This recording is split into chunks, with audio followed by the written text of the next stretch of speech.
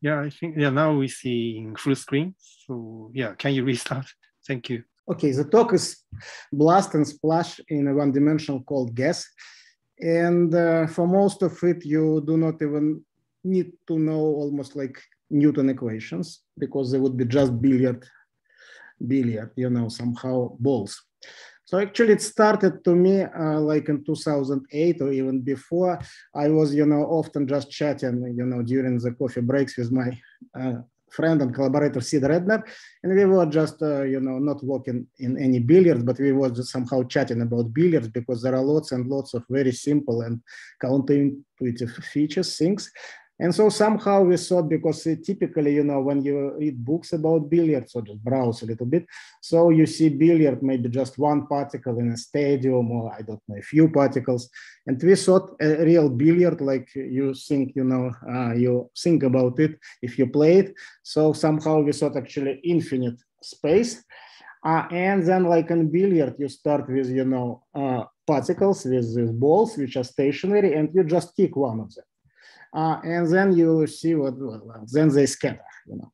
So okay in real one of course it's still size is uh, finite you know but now uh, uh we talked about really we thought about really infinite system uh, with these billiard balls this just hard spheres initially all at rest and initially you know just randomly distributed with uh, with like uniform density and so we just thought what would happen. Uh, and, uh, and so that is the outcome, you know.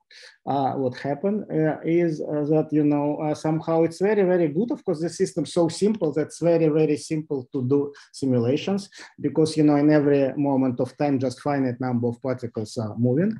and also because of that kind of questions we asked ourselves is, you know, for instance, how many collisions will happen, that kind of questions up to time t, how it grows with time, how the size of this region, which was, uh, you know, we were initially even a little bit surprised that it looks quite spherical, you know, how uh, the radius of this uh, region will grow and so on and so forth.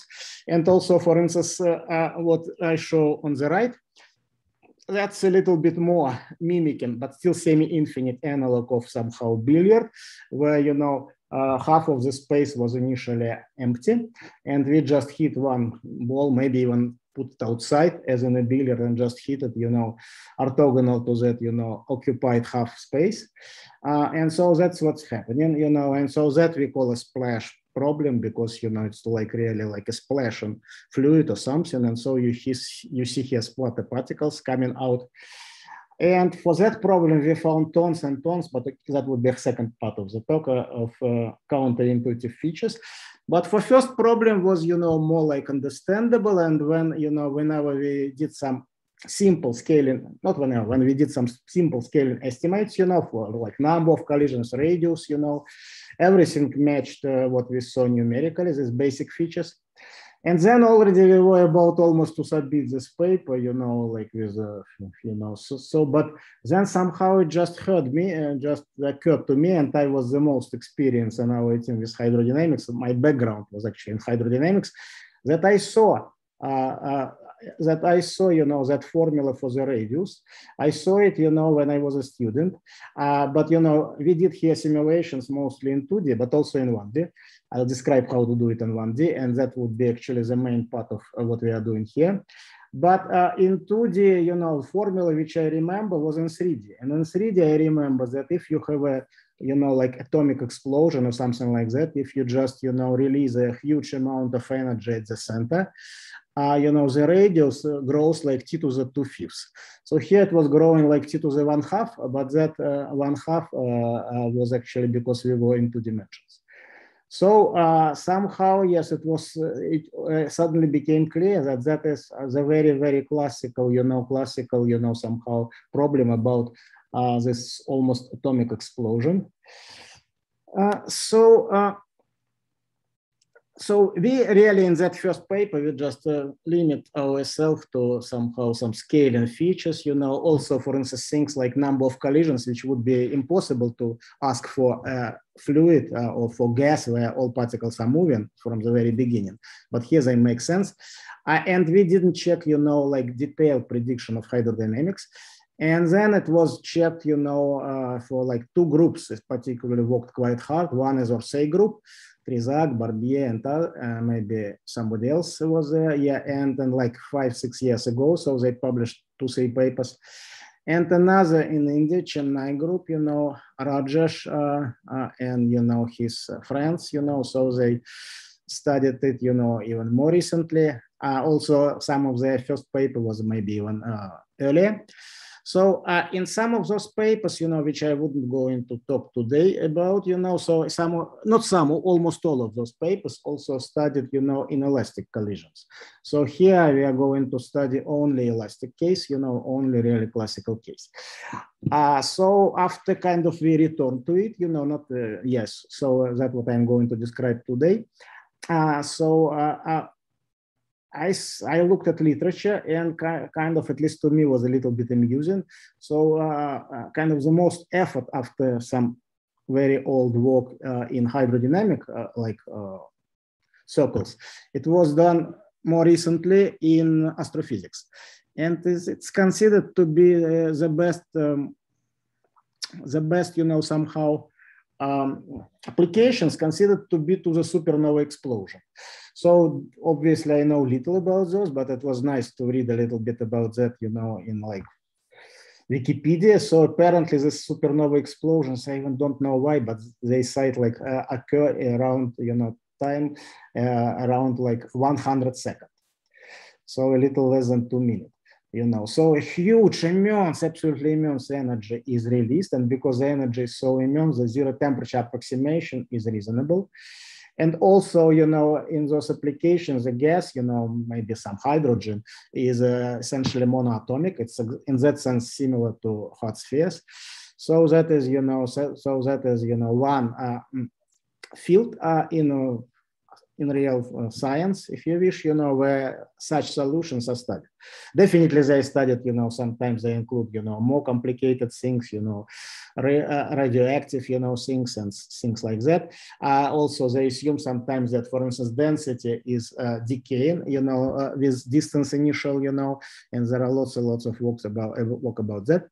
But, you know, somehow it seems the closest system in nature all these astrophysics studies, you know, they rely on continuum approximation. Uh, and um, our system, because it's initially traced, is extremely well suited for direct molecular uh, dynamic simulations.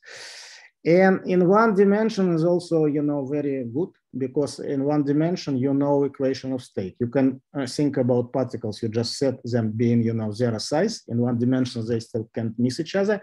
And so it would be just uh, the most uh, simple possible, you know, like gas, you know, with uh, known, you know, everything is known about this equation of state. If you do it in two dimensions and three dimensions to assure that you know that your system, uh, you know, you simulate a bit, you know, you need to uh, employ, you know, uh, assume that uh, uh, uh, filling fraction is not so small. Typically, people in the Orsay group, Chennai group, they consider that it's even relatively large, like 0.2 sometimes, and maybe even sometimes larger.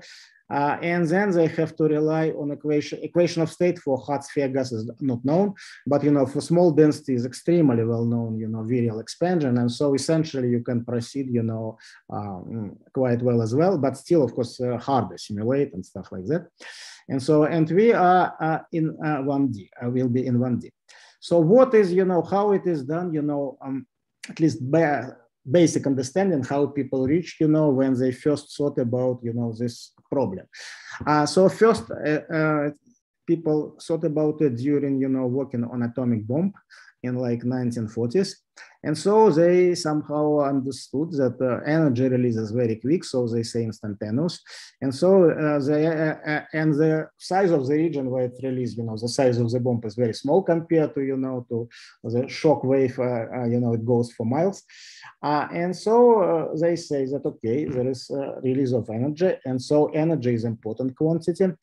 Also, they assume that blast is infinitely strong uh, which is good approximation as long as the pressure behind the shock wave uh, can be neglected. So uh, ratio of the pressure in front of shock wave uh, and behind should be going to infinity.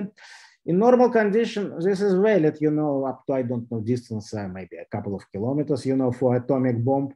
Uh, but, you know, but in our case, gas is at zero temperature, so it's kind of beautiful. It remains, it's valid forever. Uh, and because of that, you know, uh, analysis uh, simplifies. Yeah. So we can consider essentially the case of infinitely strong blast, which you know theoreticians like, but here it just uh, naturally arises. You know, you do not need to somehow say that sorry, uh, we neglect uh, the atmospheric pressure. So now, if you are sorry, sorry. So now, if you are in, you know, if you use macroscopic theory, what you do uh, well, you do dimensional analysis, and that is, you know, the cheapest way to achieve, you know, uh, basic results. So you say, so for instance, you understand that it would be spherical, it would be perfectly spherical, not like in our case, which I draw here, you know, so, but in our case also it would be more and more spherical when, you know, time goes on and on. But it would be uh, perfectly uh, spherical, you know, uh, in terms of uh, in the realm of like macroscopic, macroscopic realm. so you just the only characteristic size is radius.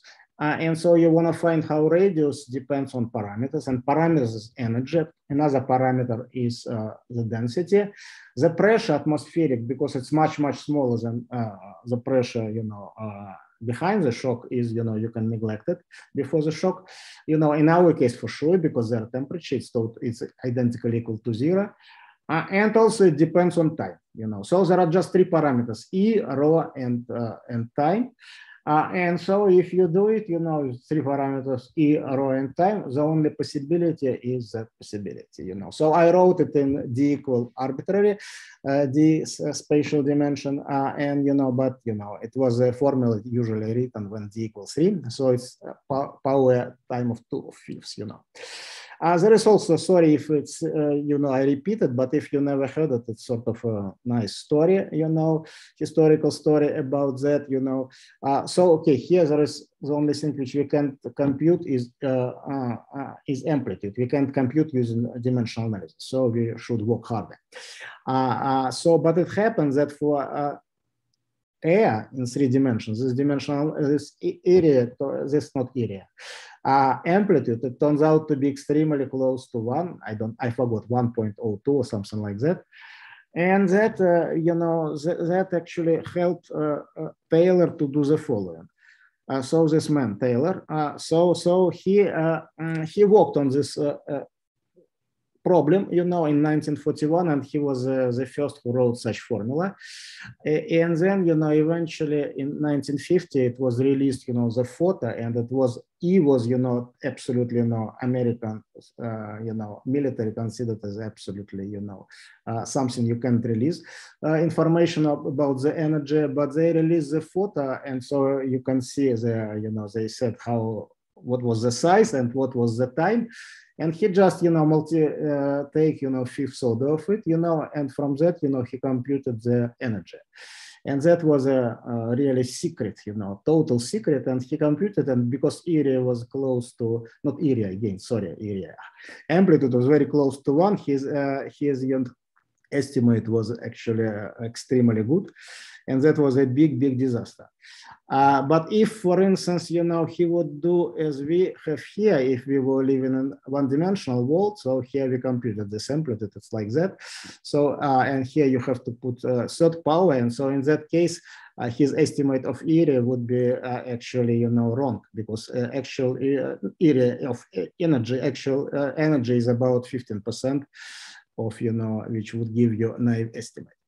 So okay, a little bit more history. So the same day, apparently, uh, apparently von Neumann also submitted a report in 41, you know, about that, you know, uh, but then, you know, when he heard, because they were nearby, you know, that Taylor also uh, put the same formula. So he worked hard during the weekend and he completely solved the problem. Uh, and uh, but it was never published like you know only in his uh, uh you know works you know. And then Sedov uh, in 45 uh, you know also found complete solution. So for a long time it was called Sedov because it was first published then Sedov Taylor because Taylor in 1950 and now people say TVNS so Taylor von Neumann Sedov solution.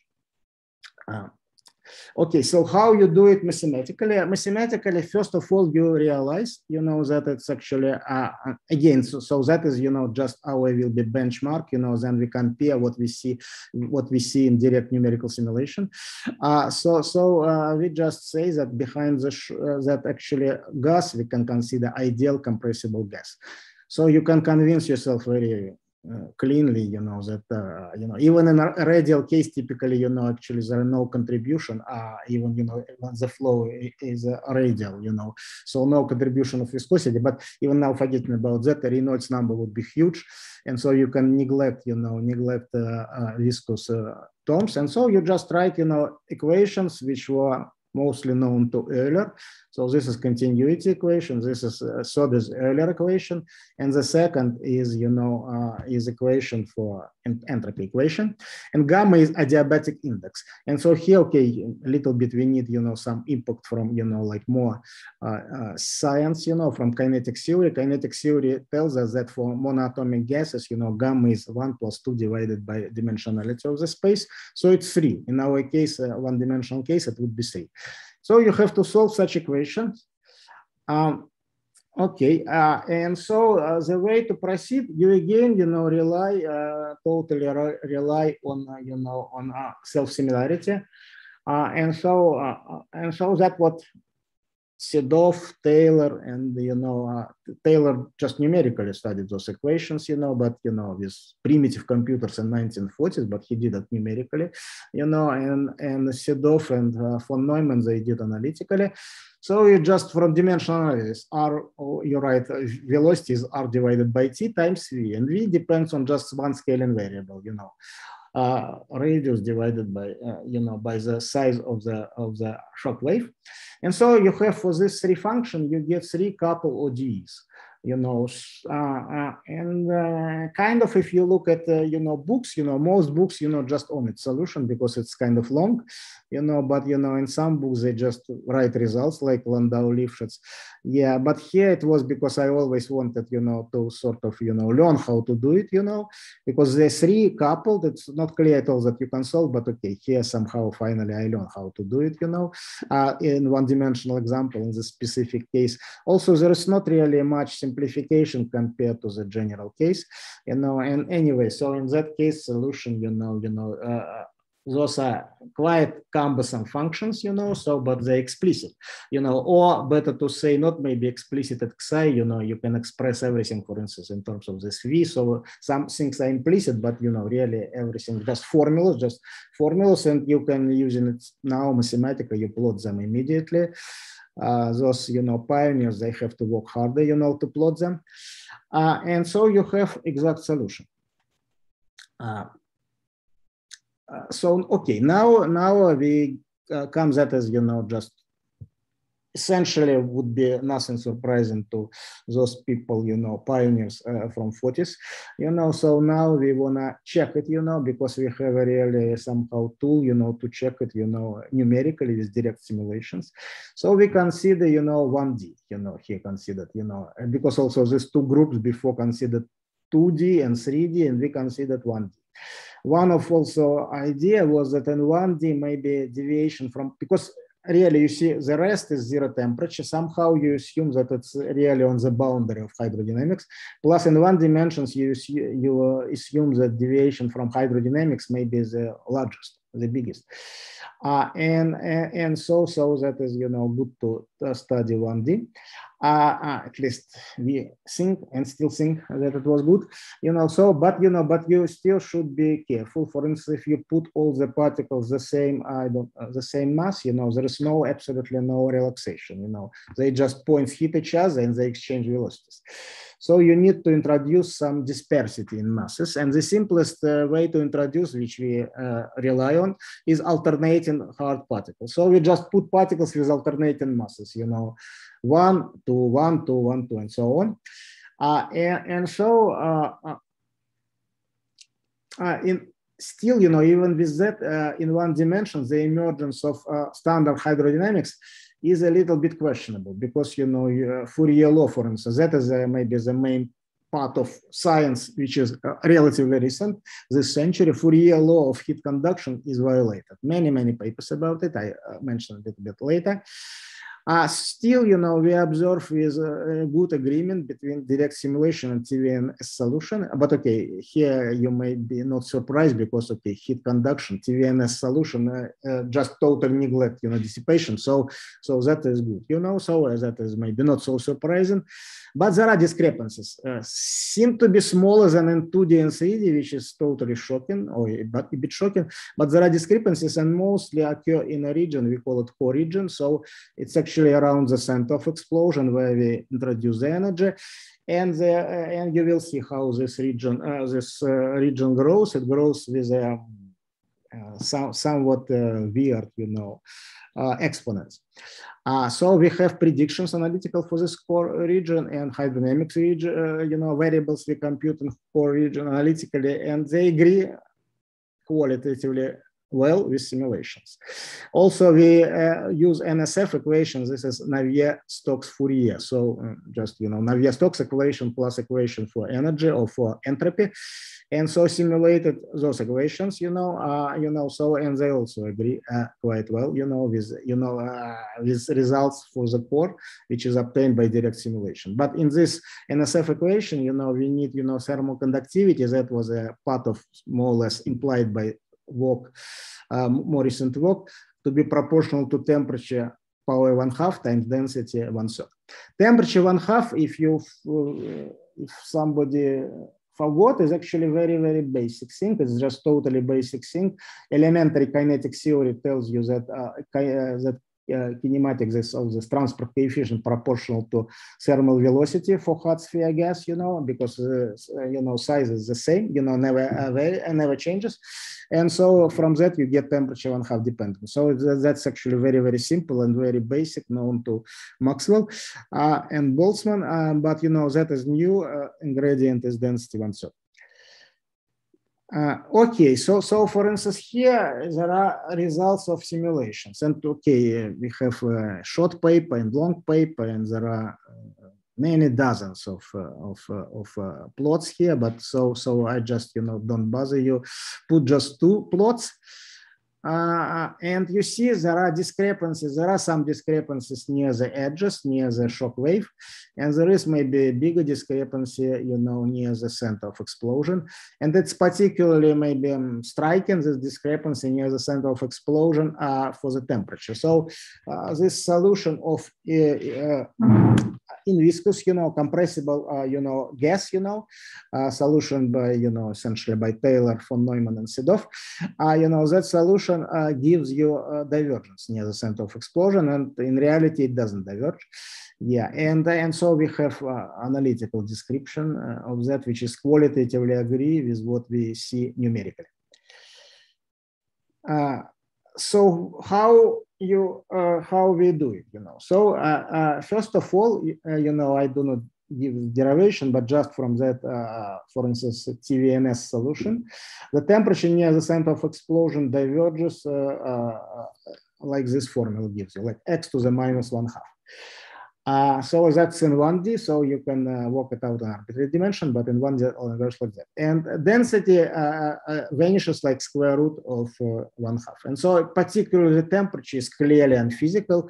vanishing density may seem also a little bit weird, you know, so, but divergence of temperature is unphysical.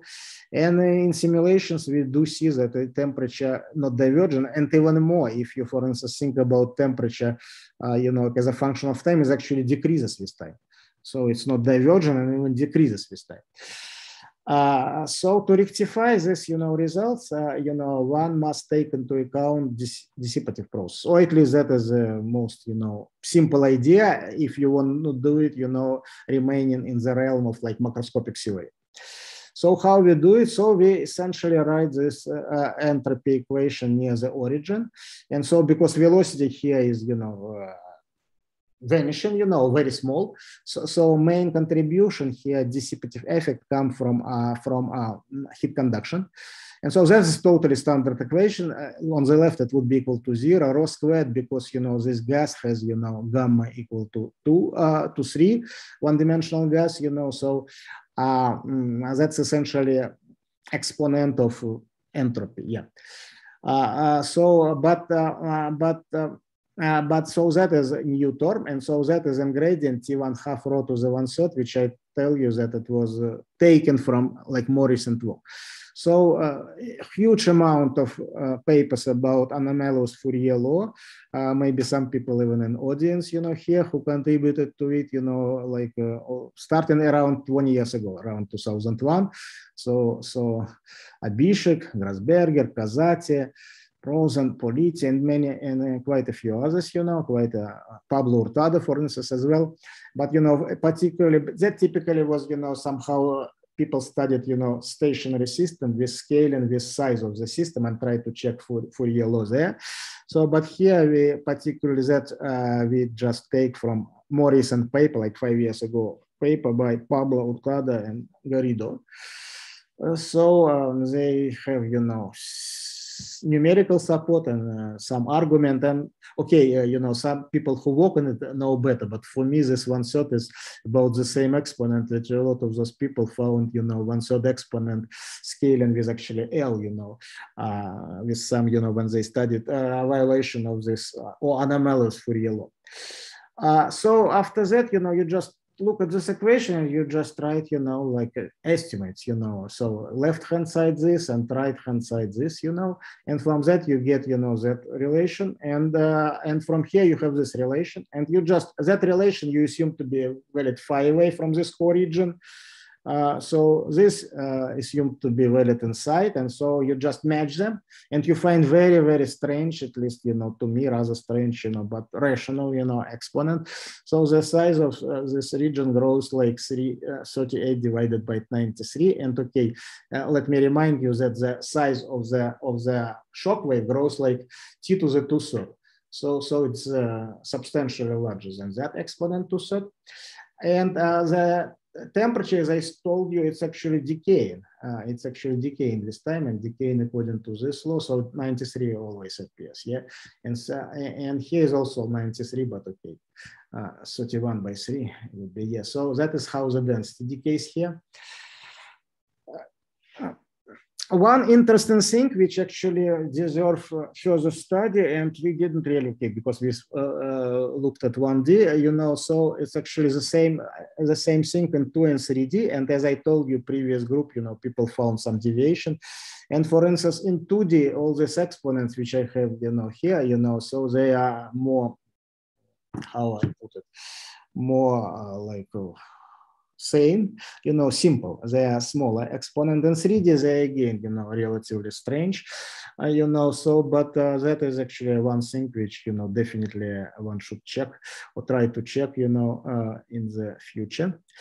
Okay, but now let me uh, go to system where we understand much less. Uh, so much less, uh, or a bit less, or you know, kind of more funny in some sense system. So this is a system, and so the system is splash. So also you do not do not actually mm, be confused with the size of if you see at least I see them very large, you know.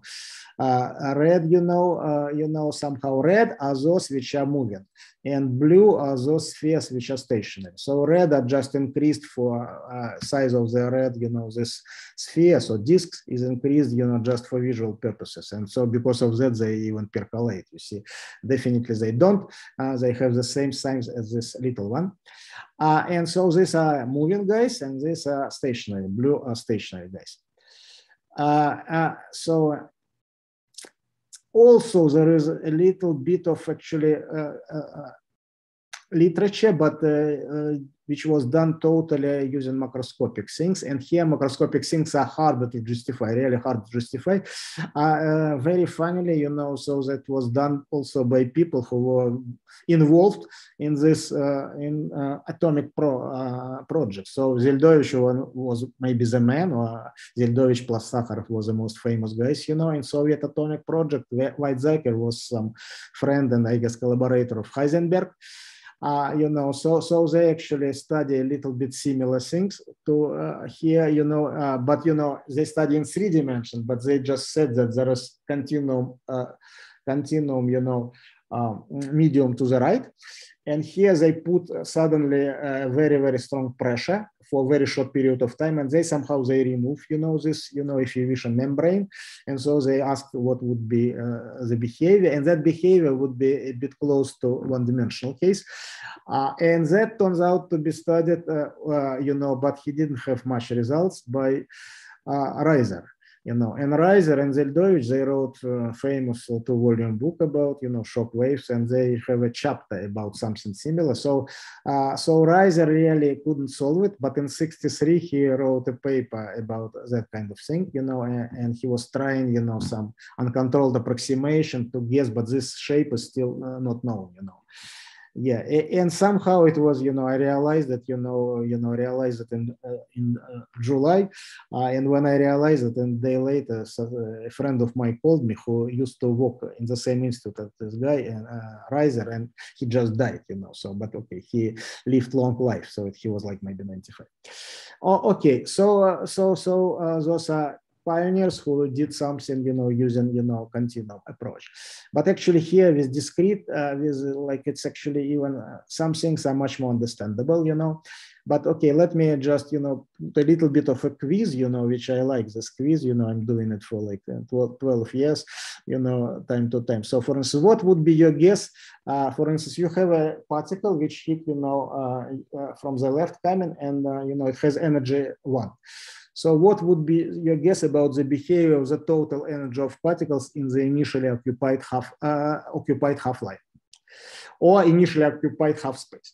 So, so it entered there in this occupied half space. Initial energy would be equal to one, but then some particle, you know, get uh, some particle gets out, you know, so some energy get out, you know. So the question is, you know, what would be the energy in this initially occupied half line or initially occupied half space uh, in long time t?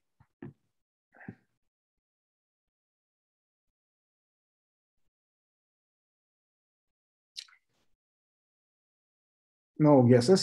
So it goes to zero uh, algebraically.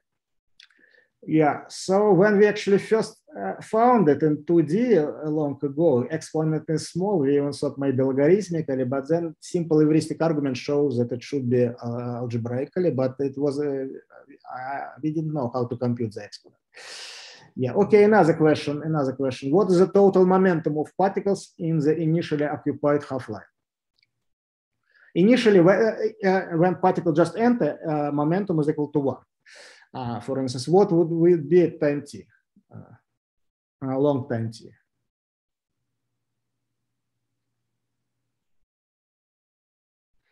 It diverges.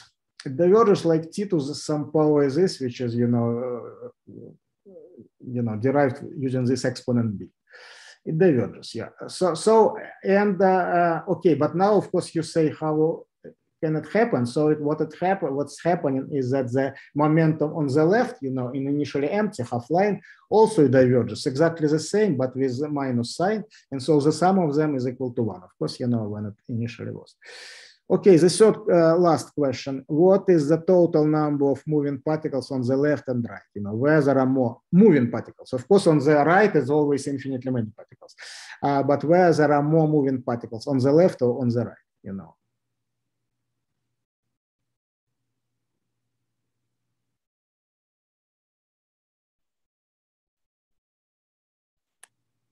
Comparable. They both grow like t to the power, 2 minus b over c. So quite striking results, you know, for oh, essentially everybody, but, you know, it's easy to, essentially easy to derive, yeah yeah, easy to derive, but quite striking, you know. Also, you know, I myself, for instance, you know, I, I kind of figure out that, you know, we figure out that, you know, in 2008, that somehow, you know, occurred to us when we were doing, you know, recently this work, which actually is not yet published yet, uh, not even submitted yet. So, and that also occurred to us uh, recently, you know. Uh, uh, so because you just seems crazy, you do not ask such questions.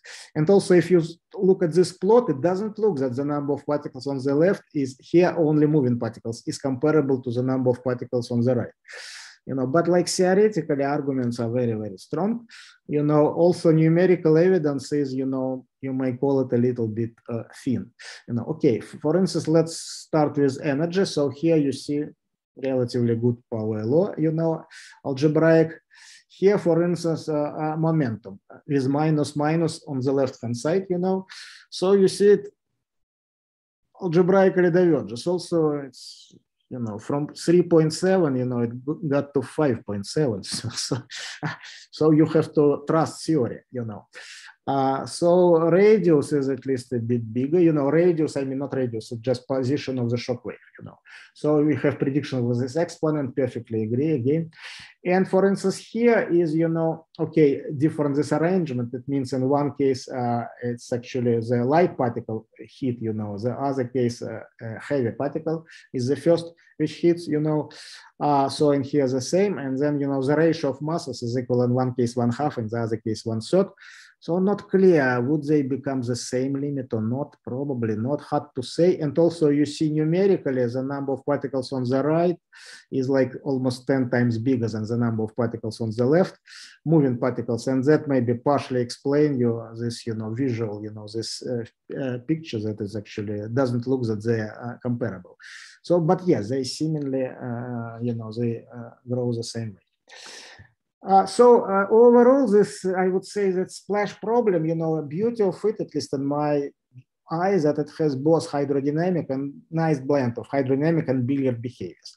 So hydrodynamic behaviors occur on the right of the shock wave, which is a position R of t, uh, and on the left, it goes, you know, on the left, you know, in the, uh, it goes up to distances of order r, but uh, there is no well-defined boundary. But eventually, there is uh, this hydropop is, uh, is you know, there's uh, turns into the splatter particles. Those splatter particles, they reach the ultimate speed and they cease to collide in the future, and they just form a fan. They, they go, and this leftover, if you wish, you know, billiard kind of behavior, this growing billiard kind of behavior. So the analysis of uh, the hydro behavior is actually similar to analysis of the blast problem. Uh, so, uh, uh, but there is one weird thing that the exponent, so you again seek solution in that self-similar form. So I will write it, but again, the same self-similar form, just using dimensional analysis. But the, uh, you know, but the only thing that actually what is weird is that actually position of shock wave is not fixed by dimensional analysis. So, and that is, and how you do it, you know, mathematically, you just seek that form, you just seek it, you know, you just plug into equation, and then actually it would be different behavior on the right or on the left. And so uh, trying to find uh, a solution of this system of couple ODE, you uh, effectively, uh, this unknown, this uh, eigen, uh, this exponent, exponent essentially plays a role of eigenvalue. Uh, and so you find consistent solution only at a specific exponent. And so this gives you, you can do it numerically pretty precise, you know, okay, I'm not sure I trust all these digits, but you know, a lot of digits it gives you. Uh, yeah, it's actually, you know, uh, also even, you know, one shouldn't maybe trust all the digits, but even more, it's even not clear that it would be just one solution because actually uh, experience with other hydrodynamic problem where also such strange thing occur, it was found after that initially it was reported one solution, but after that people uh, look much, much more carefully and found actually other solution. And sometimes even actually eigenvalues were continuum, you know, some like segment of eigenvalues. But you know, the rule of thumb it's all, always that the minimal, you know, somehow extremal one is realized if you have any like finite, start with something finite. And so I am sure that what we found, we found one, uh, uh, uh, you know, right one, you know, but maybe mathematically there are yeah, so I, and the splatter particles, they form a growing fan and move ballistically. And so this increase, like I told you, with exponent 0.62, so smaller than two thirds, but that ballistically, they increase with distance uh, with, you know, exponent one. So these are much, much further away than here particles. Uh, okay, uh, so, oh. yes, and okay, now because it's uh, maybe to my view, like intellectually the most uh, wonderful but very conjectural thing is that uh, each particle eventually joins the fan. Each particle, you know, eventually so join. So this plausible assertion uh, is a conjecture. So, so how to prove it? Uh, so not clear at all, you know. So, so, but eventually, you know, after experience few collisions, so essentially just an apparatus of spitting everybody, you know, away. So you just hit with one particle, but all eventually you pick up, you know, particle with the number you like, label like uh, 66 or, uh, or 77, and eventually it will be, you know, out of the system and stopped colliding. Okay, so if you now again look, uh, think about it from the position of macroscopic hydrodynamic approach, so it's actually becoming very, very puzzling because because what is the difference between splash problem and between you know between actually the blast problem? In both cases, we have energy, we have uh, density, this uniform density, and we have time. And so it seems that uh, from that quantity, the only uh, quantity with dimension of length we can make up is energy times uh, time squared divided by density all to the power one third. Or it actually implies time to the power two third growth. But we have a smaller growth. How could it be? You know, uh, uh, so it's very paradoxical in the realm of macroscopic approach. Um, mm, so that people found, you know, first actually German scientist Guderley in 1942, who uh, looked actually sort of opposite to the blast problem. It was actually a uh, shock wave was actually colliding, you know, was actually collapsing. And so he seek, uh, he just assumed that it collapse, you know, some power minus t. So, so it might at time t equals zero, it would be really at the point to some power. And then he just seek a solution, uh, uh, being a self-similar solution, r divided by this minus t to this power. And then that is where he found where he found that there is uh, just uh, you know this exponent is not determined by any dimensional analysis. You know you have to solve it like eigenvalue. It was a first example, and second example was actually uh, found by you know those people which I showed before, Zeldovich and von Weizsäcker.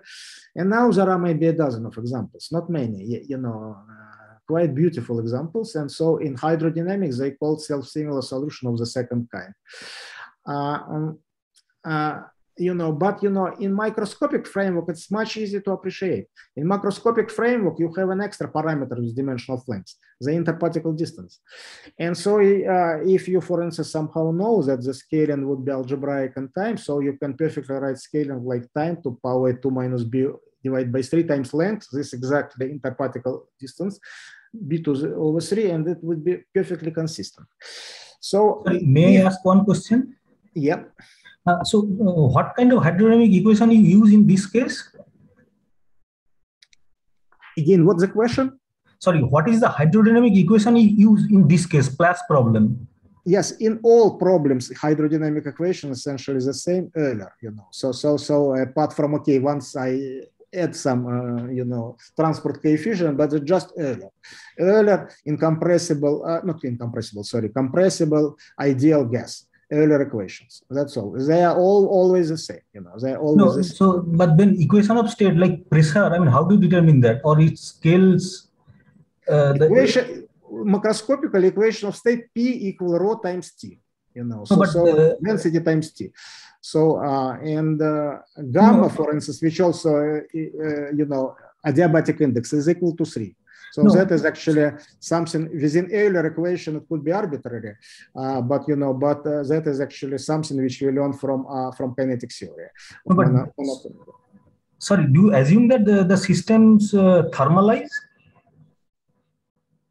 I don't assume anything. I just put particles at zero temperature and ju just let them uh, fly. Uh, but you know, but then uh, actually your question is, do I assume? We checked it in blast problem we checked it. And that for instance one of the things you know why you know why you know maybe it could be deviation from hydrodynamics is do we have local thermal equilibrium? So we checked it very very carefully.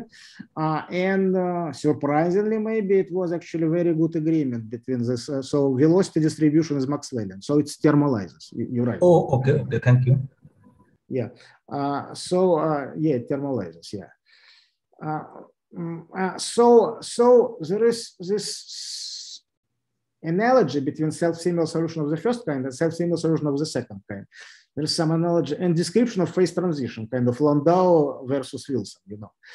Uh, and uh, quite beautiful, I guess, thing, you know, and really easy to uh, maybe easy even to start understanding you understanding. So so uh, if you think from that perspective sometimes and that was emphasized by goldenfeld in his book on lectures of uh, phase transition critical phenomenon or something like that. So yeah he, he loved it you know so so he emphasized it a bit. But um, anyway so so i'm not sure this self-similar solution of the second kind uh, uh, much known. Okay, now now because I was talking about this billiard part, which is really really uh, quite wonderful ingredient or interesting or challenging intellectually of, of this of this problem, you know, splash problem. So let me just short uh, digression about billiards. Uh, and so suppose we have a finite number of balls in uh, d dimensions, how many collisions they may undergo before the collisions will cease. So eventually we assume that they also form sort of fan. Okay, it's not, uh, but sort of fan, so they stop colliding. So, you know, uh, probably the first uh, person who thought about it immediately gets the answer. It was Sinai. And so he conjectured, or maybe somebody else, but didn't publish it. And he conjectured that it, the number of collisions is finite. And he thought that it should be easy to prove. And he kept asking that question by high school, you know, students, uh, you know, but uh, smart ones, you know, uh, in Moscow mathematical Olympiads and maybe even Soviet Union mathematical Olympiads. Nobody solved it. And so eventually he proved his conjecture in one dimension in late 70s. And then his, uh, his student proved it conjecture in arbitrary dimension. And uh, you, you now can see, you know, people still work up it because, you know, upper bounds are very far from being tight. Uh, and so, for instance, Denis Serre, for instance, published recently a couple of nice papers, you know. So in like a this year even a few papers were published, maybe two. Uh, uh, and for instance, if you consider even maybe simpler, like, you know, uh, you know, not mass dispersity because here they assume arbitrary masses typically, but identical balls, you know, for two balls, they undergo at most two one collision, you know, at most. For three balls, it's very complicated proof, you know, long paper by Murphy and Eddie Cohen, you know, in 93, so they prove it for. S5 is unknown. Uh, so, uh, so, so now I guess uh, here one can uh, make a similar kind of, you know, conjecture, you know. So first of all, the total number of collisions, of course, here grows without a bound, and we even have a uh, heuristic argument and clearly correct, you know, that's how it grows. But you know, uh, the dominant contribution here comes from collisions in this hydrodynamic region. Uh, but each particle that is a conjecture undergoes a finite number of collisions. So this is an, anal an analog of uh, Sinai's conjecture in this splash problem. So very easy to formulate and just no idea how to prove it, you know, and uh, and I guess it applies to arbit in arbitrary dimension, not necessarily in one dimension. Okay, let's now uh, talk a little bit about one dimension. So consider this leftmost particle, the particle which I initially hit, you know. So how many collisions it is going to experience, you know. So again, you know, that is another, you know, somehow quiz, but in that quiz, I do not have an answer.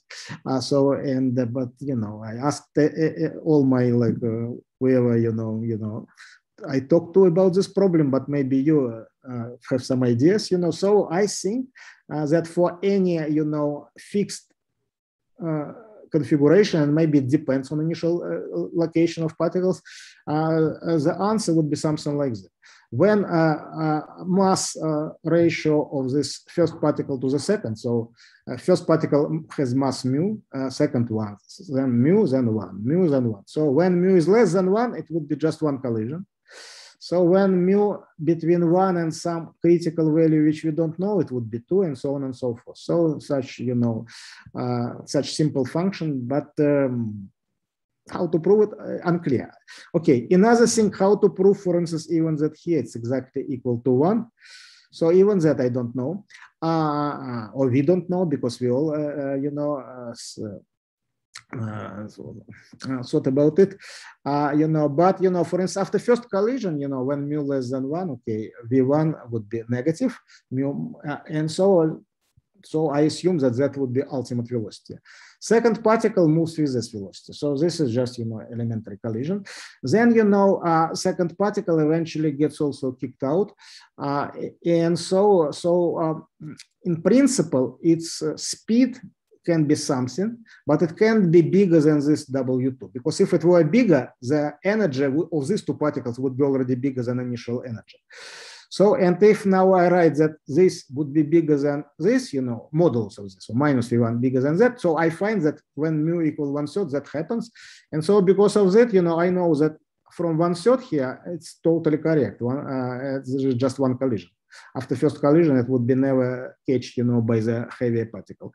And also when mass ratio is equal to one, it's obviously one because it just hit and stop and the other hit and stop and so on and so forth. So it seems, of course, very reasonable. It's everywhere one, but how to prove it, you know, so some monotonicity argument, you know, and generally for that, you know, uh, some monotonicity argument. So I don't know. Uh, um, yeah, okay. Uh, so what else? so for instance, okay, something which we can at least, you know, partially assess is the following. I told you that the number total momentum diverges like that. And uh, the total number I can estimate it goes like this because it's the total uh, uh, number of position of the shock wave. And so I just sum, this is ultimately, you know, this velocity. So this already splash splatter particles, you know, which actually, no. so I, I presume it should be like that. And from that I get, you know, uh, large uh, behavior when, you know, indices, indices first particle has in the uh, label one, second, two, and so on, goes like this.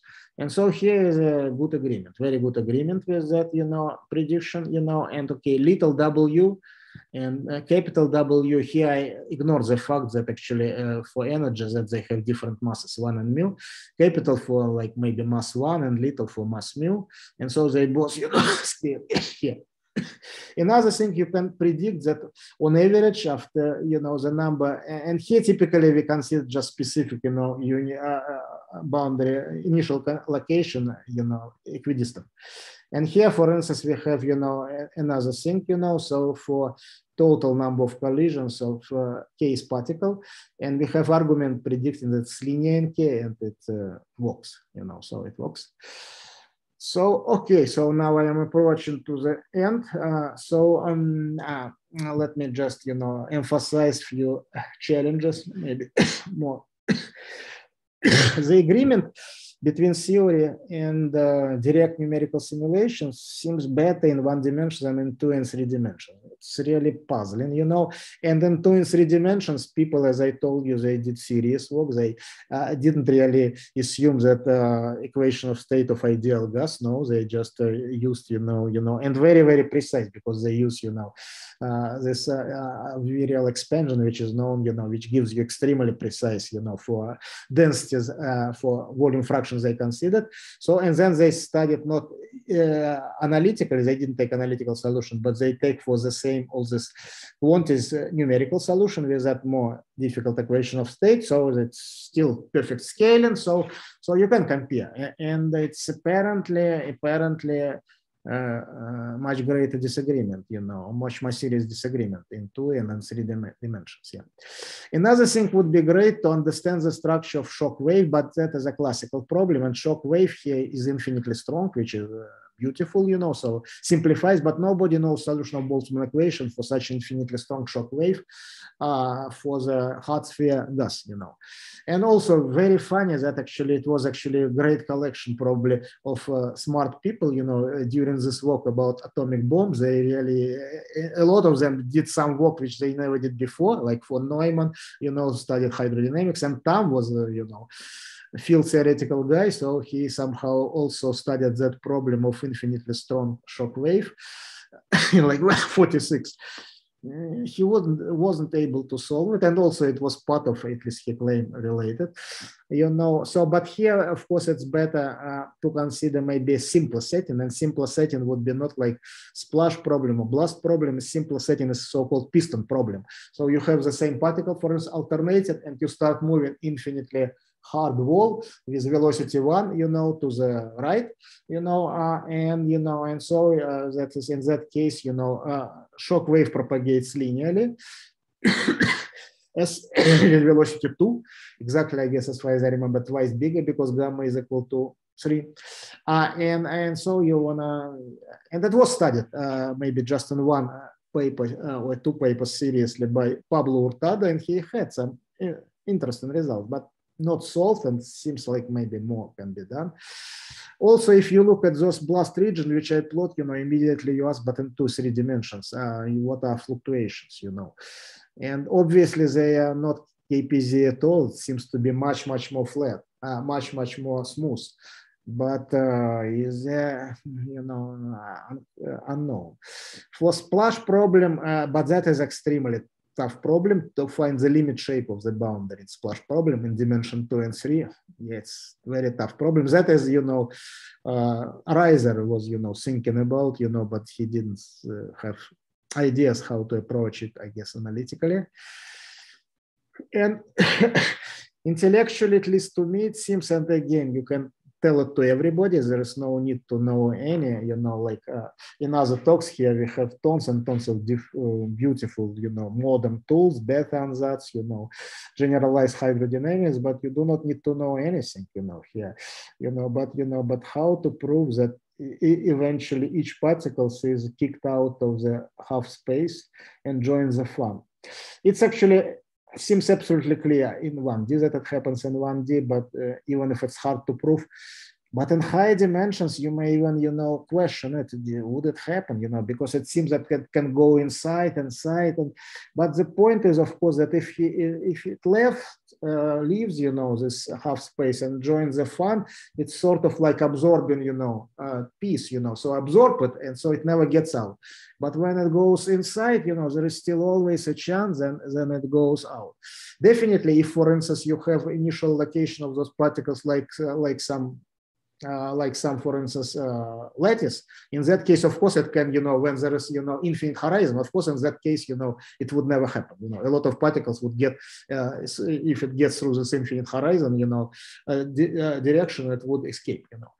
But, you know, if you have any random, you know, so it is probability one, I guess, uh, you know, particles, every particle, even if it far away from the point where heat occurred, maybe but okay i'm not sure. Maybe it will it will eventually uh, leave the system.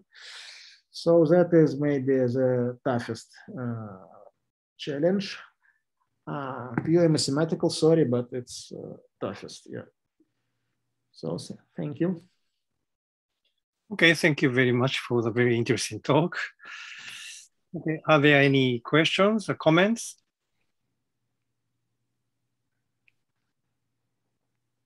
Uh, yeah, when you have question, please. Uh, yeah. Okay, so first, uh, Puneblata, please. Yeah, hi. So, uh, hi all. Yeah. So could you please go back to your slide where you plotted uh, the, I think the uh, temperature profile and uh, density profile, I think.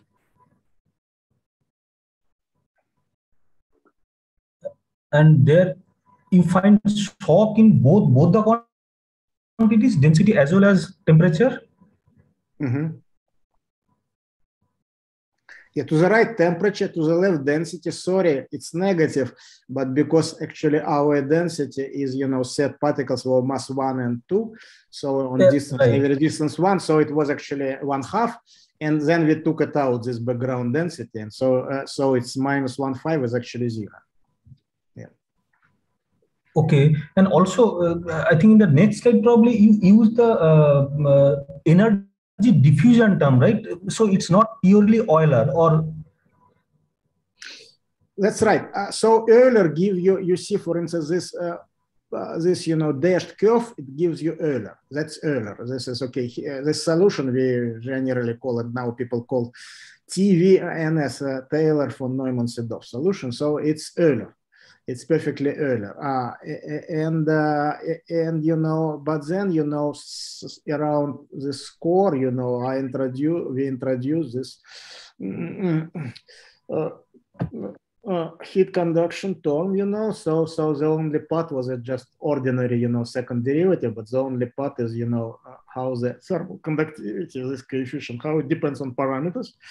And then yes, we just somehow from just comparing terms, we find that that for instance those guys are important uh, when the size is t to the 38 divided by 93. you know, but the typical size is t to the two. So typical size is much, much bigger. So, so because of that, that region is really, really become, you know, more and more tiny, you know, so uh, relatively. Oh, okay, no, but uh, at the same time, you said that uh, this system shows anomalous heat, heat conductivity. Uh, we so, take it just uh, we take it just you know just to put it by hand you know to put it by hand so so when we simulate system we just simulate you know like uh, not simulate uh, molecular dynamic simulation just doesn't know about anything it doesn't know just just straightforward you know then when we for instance also uh, tried Navier-Stokes Fourier equation, you know, full, uh, more full than here, you know, here I just wrote near the core.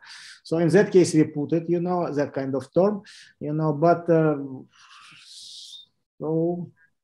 Uh, no, but you said that this uh, system does not have any finite heat conductivity, right? Anomalous Fourier law yes that is you know actually again not my forte you know so, so, so definitely i know a lot of people uh, studied that and somehow outcome of that uh, uh work of an anomalous fourier law but where they considered you know uh, finite size system and uh, uh, stationary cases you know for instance in that paper by pablo hurtado and Garrido so they, that they somehow advocated that you know you, you still can use hydrodynamics with that kind of uh, with that kind of you know uh, coefficient of thermal uh, conductivity or yeah. So so that is just you know taken uh, just taken from that uh, from that in a way paper.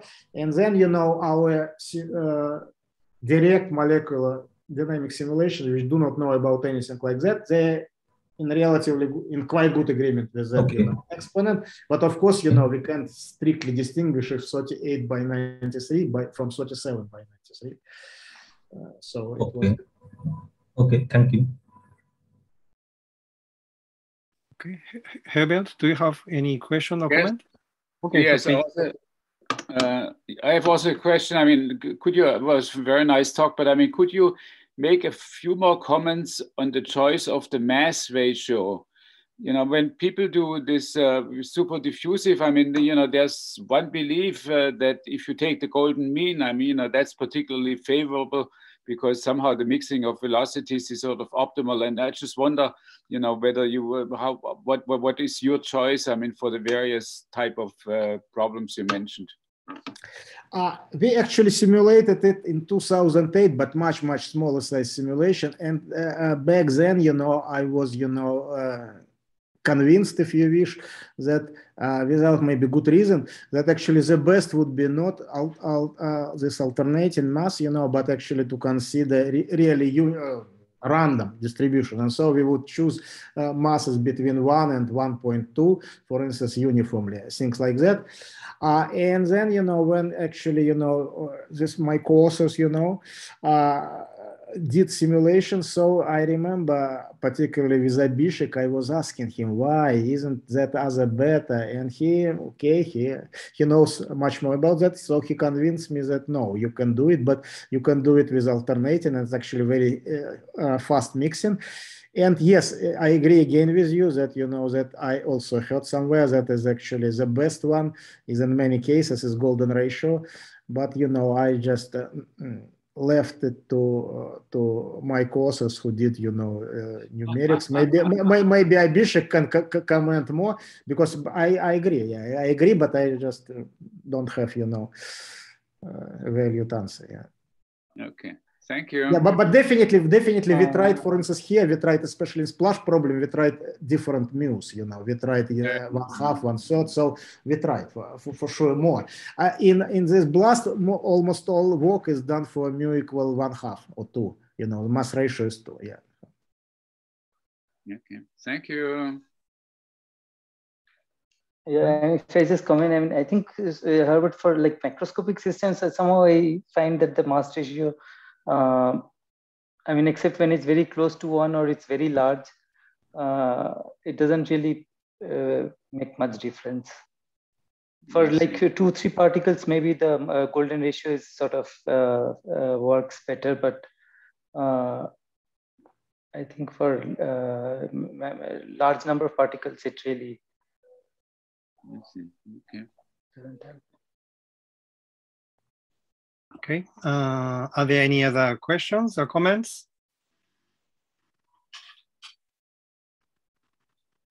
Okay, so Bill, please. Uh, yeah, sorry if I missed this. Uh, what kind of number is the exponent b?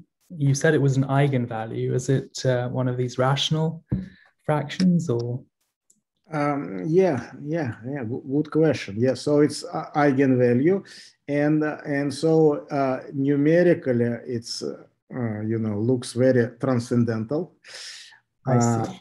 Uh, very transcendental looks, but you know, in totally different this macroscopic approach. So they did had to read, you know, these old papers, and even in that book by Zeldovich, you know, which I uh, mentioned. But they did, and particularly actually students of Weizsäcker, they actually found some very weird things. So they considered gamma in their case was, you know, arbitrary, and they considered few gammas. Uh, and uh, for instance, uh, for instance, they actually established that for gamma equal 1.4, which is, you know, for like for air, you know, that actually exponent weirdly, you know, is rational. And so I guess it's more or less believed, uh, you know, by those people. Uh, there were quite a few working on it, so that actually that's the only. Okay, definitely it crosses some other for some other strange gamma crosses rational value for sure, because it's just a, a, a curve, you know, oh, beta would be a function of gamma. Uh, but you know, but it seems that uh, but it seems that it's uh, just uh, if some making sense gamma you know like uh, diatomic gas gamma uh, gamma equal in 3d where gamma equal 1.4 uh, so uh, so that's the only one uh, and weird place where weirdly randomly uh, exponent is rational. Okay thank you. Okay are there any other questions comments